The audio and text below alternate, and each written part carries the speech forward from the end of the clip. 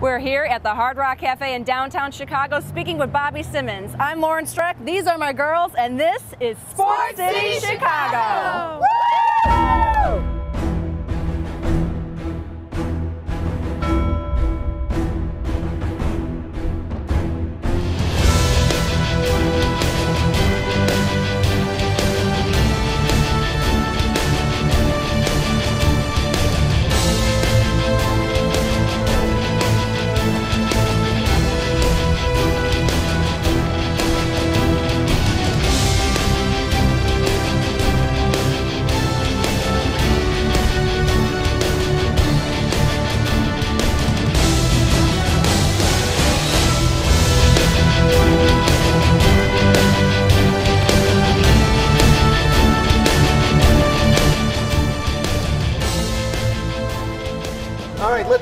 Into it, Bobby. Uh, we like to phase on back to your, the early childhood, your developmental stages, as it were. Here, you grew up Chicago kid here. What was it like for you growing up in, in Chicago? What was your upbringing like early on?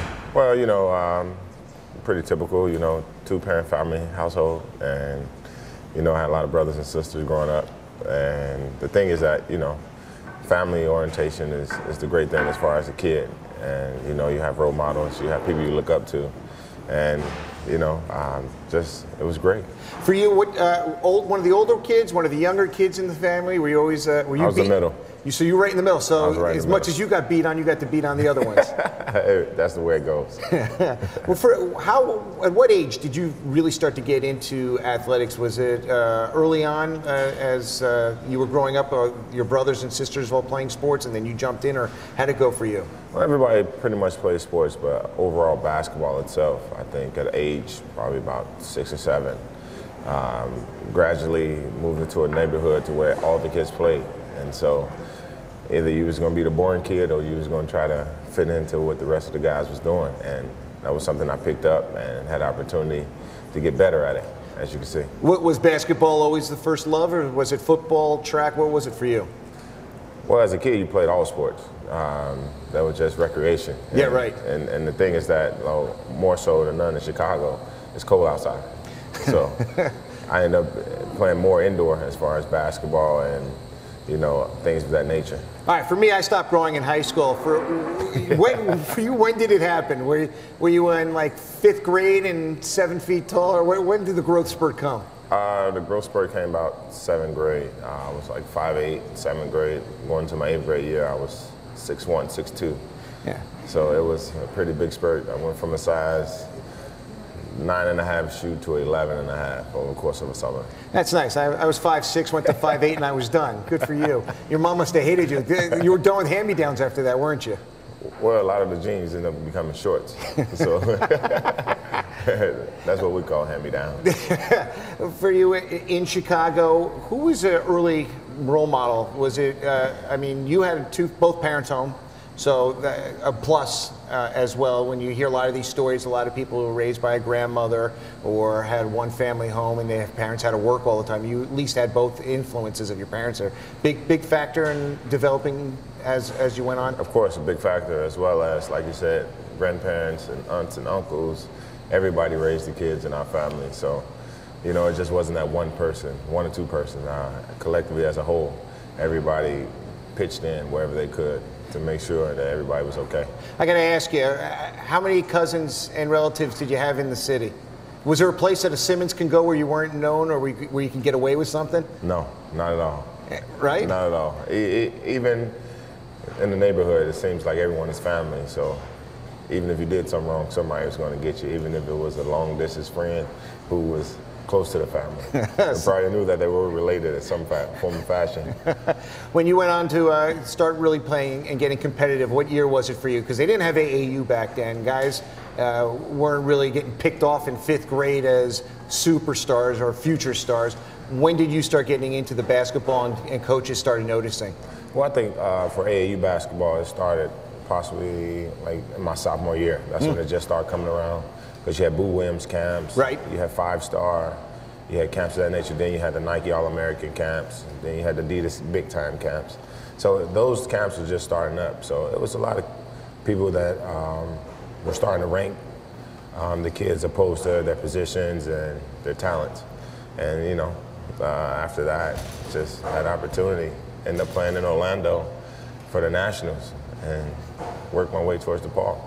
Band called uh, Catch is here with us today, everyone. When we get back, we're going to talk about DePaul. We're going to talk about Bobby Simmons and the recruiting that went on for him and what it was like to play for Pat Kennedy. Stay with us. Sports City Chicago. Be right back.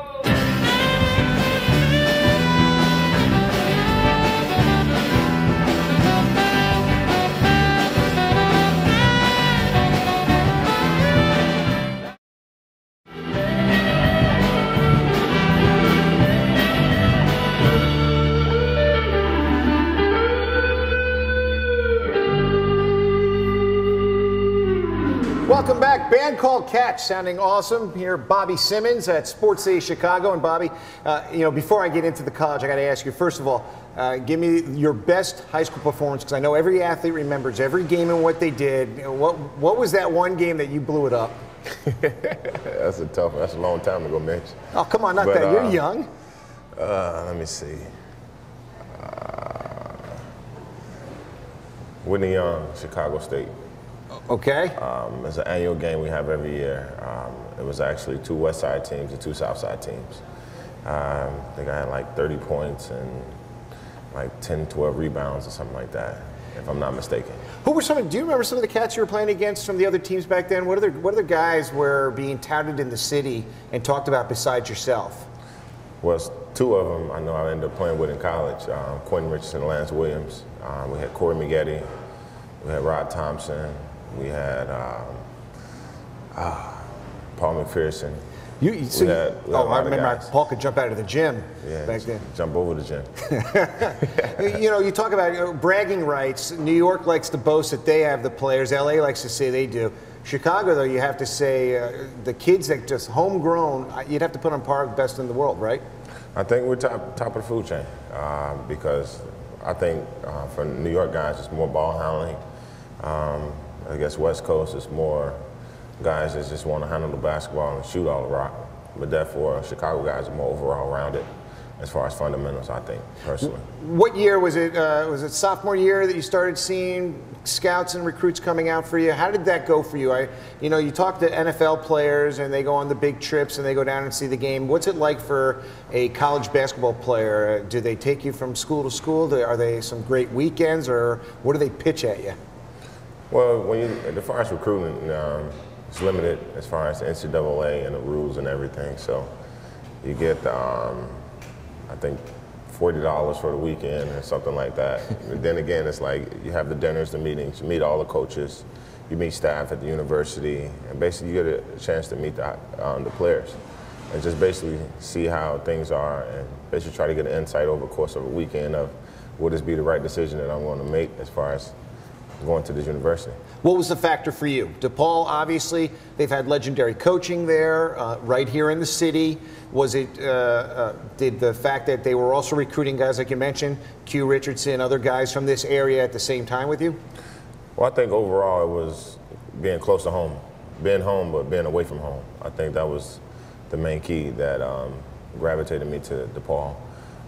And also, um, Lance and Quentin, that helped because not only that, they had won three games the previous year before we got there. and it was almost as if, like, I can't only do it by myself. So if I can pull some of my colleagues with me, then it'll work out. Today's player, though, usually you think they're going for one year. That's it. You know, one year they want to they want to make their splash if they're a top guy and they want to get right into the NBA. Um, for you, has that helped or hurt the NBA or the college student? Uh, the fact that guys are thinking so quickly about jumping in. Well, I could be, I wouldn't say biased, but you know, um, I think that for guys coming out, if you have the opportunity to go, You got to go. you got to go. Because God forbid, if anything happens, if you get hurt, you know, you could have career-ending injuries or anything like that. You don't have any protection as far as longevity or none of that, putting yourself in position to be successful. Also, as a veteran NBA player, you could school on a kid or two, hopefully, as when they're when they're 18, 19, right? Yeah, and then I'll still press them to make sure they go back and get the education as well. Because now you can afford to pay for it. What was the best advice you got as you went on through college and, and started preparing for the NBA? The best advice is be seen and not heard. Really? Who said was- it? Uh, Coach Hamrick told me that. You were drafted second round by Seattle Supersonics back then, Seattle Sonics, and then immediately you started getting traded and moved around. Um, and, and it seemed to be your way in, in your career. You, you've been moving from city to city, improving, having to prove yourself over and over again. What does it say about you and, and your work ethic that you've been able to do that? Well, you gotta be blue collar. Everybody can't be white collar. So some guys have to put the time in and get get the job done. Some guys get it. Some guys have to work for it. Let me ask you, uh, as we get ready to go to break, NBA experiences. Um, what is what was the most rewarding on-court experience for you so far? Um, most rewarding? Yep. Mike Dunleavy when I was playing with the Clippers. Tell why. Uh, uh, Kerry Kittles was out for the year, and he gave me a starting position to um, start out the season, and therefore I had opportunity to get most improved player of the whole entire NBA. That was the year you averaged over 16 points and 12 boards, I think, a, a game, something like that. Double double. Actually, I was shooting over 50% behind um, the three-point line. Oh, see, and now- now- also, now see, here see, comes- see, that's more updated. Right, right. Yeah, give me every stat because I know every athlete knows every stat. So. No, it was it was over 50% behind three and over 50% uh, from the floor. nice, nice. It's your best year right there with Mike Dunleavy. Not to say you don't have good years ahead of you. Was the best opportunity I've had. They, okay, and that's the difference that people have to understand the business because I know with football, uh, number one draft pick, someone who's getting paid, they're going to get the chance to play. Even if- Exactly. exactly. We won't complain about that. Though, Not here. at all. All right, when we come back, we're going to talk about Bobby and his next project, or the one that he has underway, a great business here in Chicago. We'll also talk about some goals coming up. It's Sports City Chicago, and it's band called Catch.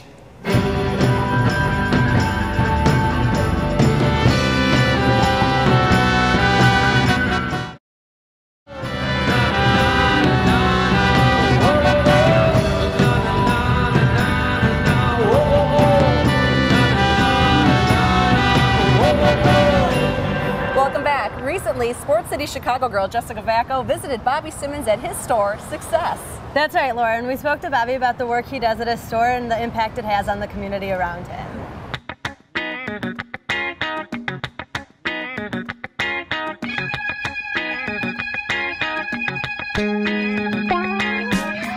So, what is your favorite part about having the store? Well, I think it's interactive. You know, um, finding employees who's very personable, and not only that, interact with people very well. Fashion has been something that I've always loved. Um, love sneakers, um, love jackets. I love the Four Seasons. So basically, that's one thing about Four Seasons that you always get opportunity to transition and always dress. I'm um, actually, we use a lot of different designers, um, actually locally here in Chicago, and we give them that opportunity to showcase their talents as well as we work with kids from Columbia, kids from AIDT, um, as far as designing. And we basically give people opportunity to take off. And now, how much time do you spend here? That's my due diligence. Yeah. Um, basically, I go to the gym in the mornings, I be here in the evenings. Um, sometimes vice versa. Sometimes I have to come in for meetings in the morning and go work out in the evening. You can tell it is definitely a success. There's people all over. The people who are working, you can tell, love what they're doing. They love you. You could tell when you walked in. They connoisseurs. They're, They, they're, they know everything about the sneakers, from the airbag into the 3M, like mesh materials that they, they make them with, all the above. Now we're standing in front of all these shoes right here, and you were saying your workers do their research and they know everything about it. Do they teach you about it? Do you know all about it? Well, actually, I think they, they may know a little bit more than me Yeah. as far as the sneakers that come out. Uh, they do so much research as far as the shoes that be coming out next year and two, three years from now. And, you know, they pretty much keep me in tune as far as what's the next hottest thing. Tell me, like, while you're walking down the street and you see people and, you know, people recognize you, what is it that you would tell them about this store that makes it so much different than all the stores? One thing is you have to experience the environment. Um, actually, it's pretty hard because they're doing a lot of construction on Michigan Avenue and they're fixing up a lot of buildings around here. If you didn't know we were here, once you come in here, you'll realize you always come back. All right, Bobby, success. Uh, as we just saw there, one of uh, a very successful little company for you right now. Uh, the boutique. I've been there a number of times. You've outfitted me, which was no easy task, as you can tell from what I'm wearing. Uh, how did you first get involved? What what made you really think about wanting to get into the whole aspect of Nike sneakers and clothing together? Uh, Were you always a fashionista? Well, you know, um, I'm always been into, into fashion and um, love sneakers. So I think uh, myself and my partner Lavelle actually partnered up together and had an opportunity that um, they came about. First, it was the, the toughest part was finding a location. Right. Um, we ended up in the South Loop at 1329 South Michigan, and that's where home and success lies right now. You know, guys come in. It's pretty funny. The other day, I was uh, the uh, Browns were in town to play the Bears, and I'm, I was talking to them, and I started seeing tweets. And you had a bunch of Browns players coming in, so the word is out when people come to town to check it out and see what they can do there. Uh, how, how did this grow? Uh, I know sneakerheads love to compare and show off. It, was it word of mouth? Guys started being able to do their own thing with sneakers, and then one athlete tells another, and then it starts spreading like that. I think it's um, basically grassroots marketing, um, basically word of mouth itself. Um, a lot of my peers shop here, and they tweet and um, Facebook. They do all that, and the basically the social network itself has helped out drastically as far as you know getting people into the environment and understanding what we what we bring to Chicago. Uh, same competitive attitude that you take on the basketball court. Do you do that with your business? I think overall, yeah, you have to. Um, basically, if you can, corner the market. And basically, it's almost like the game of Monopoly we always play when we were kids.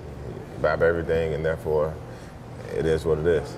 Uh, for you, uh, do you end up making money? Or do you end up just use, buying all the product that you? Because I, I know you probably have a pretty good collection. So is it a part where you have to sit back and go, I, I can't buy every sneaker I design But here? the, the thing is, like, even if it's not design sneakers, uh, Nike ID is more personable with the client. Sure. And a lot of the sneakers that I get are the ones that they want. Uh, is it against the rules to wash your sneakers? Yeah, it's against the rule. Thank goodness you said that, man. I can't. sneakers are meant to get dirty eventually, right?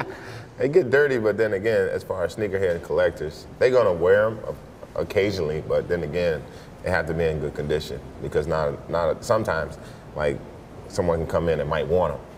All right, say I'm putting on a pair, and I, I people used to say there were certain kinds you couldn't wear on the basketball court unless you really were a true basketball. I don't know, was it the black high tops, the three quarter high tops? Uh, What, what what can I not, what can I not pull off? You? Yeah. Come on, look at this. Come on, Mitch. I, I don't know. We gotta get out on court, then I can tell you what you can and can't Uh, wear. if we you gotta get out there first. Maybe Xbox. that might be the extent of it, and even then, I'm not so sure. For you, what's the, what's the future in business? Uh, is it uh, more boutiques around the country? Do you just like having it home here in Chicago? What do you want to do? Well, I think possibly um, we're looking now to find a second location for success. And not only that, you know, if not that, I also have full spectrum printing to where we're doing a lot of the print work for universities and uh, collectors, and all that, family unions and things of that nature. Printing. Did you have any experience in that before you got involved? I like clothes. But then big guys like myself, it's hard to find. Yeah, I know the feeling. Like, like nice stuff. Yeah. Yeah, I know. See, at your size, Mitch, you, you probably can find everything.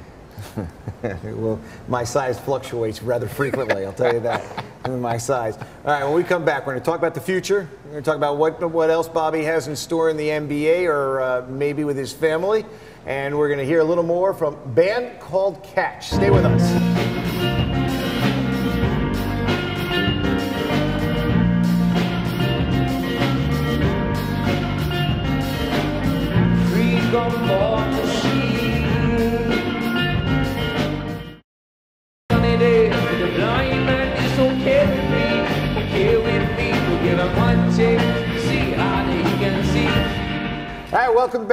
City Chicago here with Bobby Simmons and Bobby. Uh, NBA in a lockout. Uh, I, there, a lot of people speculating could be a lot worse than the NFL. For you, what is the future? Uh, obviously, uh, I would think you still you still got some playing days left in you. You want to be involved. Yeah, of course. Um, still train some days twice a day. Um, just basically stay in shape and wait to see what happens. You know, uh, lockout's pretty serious, and you know, it's a business, as Right. we both know. But um, just have to wait, wait it out, and see what happens. And uh, getting some extra family time, which must be nice. Yeah, yeah. Any trips uh, going to plan, or just little getaways if possible? Well, you know, my son is in school now, so it's not like. Do you take can- them to school and pick him up? Sometimes. Yeah. Sometimes. It's great. I get the chance to do that too. It's awesome. it really is. Well, normally this time of year I'll be getting ready to leave for Right. a season, but other than that, you know, I enjoy it. All right. Well, we like to do five questions. I've got the I got them written down now because my memory's not the best. So whatever comes to mind, I may ask you to expand on it afterwards. But whatever comes to mind when I ask you the question, okay? Okay. All right. First one. What person has the greatest sneaker collection that you know of besides you? Michael Jordan. Michael Jordan. And have you seen it? Yeah. Incredible. I mean, you've been there. You've yeah, incredible. Yeah, the shoes are based around him. You, got every- you got to get every pair when they come out. I guess you're right. Favorite Chicago spot for food, atmosphere, and people watching? All three? Yep. Sushi Samba slash Maestros. Sweet, sweet. Um, you still you got more? No. Sushi Samba slash Maestros. Yeah, that's gonna be my choice. All right. Best blue demon of all time. Best Blue Demon? Can't pick yourself. I can't pick. Okay, George Mikan. Okay. Best street ball player in the city of Chicago as you grew up that you knew of. Street ball player, other than myself. Mm-hmm. Because I know it would be Bobby Simmons for every answer. Yeah, it other than would be. yourself. That's just that's right. That's the right thing to do is pick myself. Um, street ball. Michael Herman. Michael Herman. Last one. Best lesson learned in business so far. Best lesson? I would say being an overseer fi- over financials. Best lesson learned. I I don't want to ask if you've been burned. I haven't. Okay. That's the best lesson, but I heard some horror stories. Eh, right. Eh, Whether it's management or, or just, I, I got you. That's the best lesson learned. All right, I want to thank Bobby Simmons, NBA basketball player and successful businessman. Success Boutique is the store here in Chicago. The address? 1329 South Michigan. All right, thanks a lot for joining us on Sports City Chicago. Thanks, Appreciate it. Thank you also to Jessica Vacco with our story with Bobby at Success, and of course the great sounds of band called Catch. And thank you very much to Hard Rock Cafe Chicago for this wonderful place to uh, broadcast the show from. We'll see you all again soon on Sports City Chicago. I'm Mitch Robinson. Take care, everyone.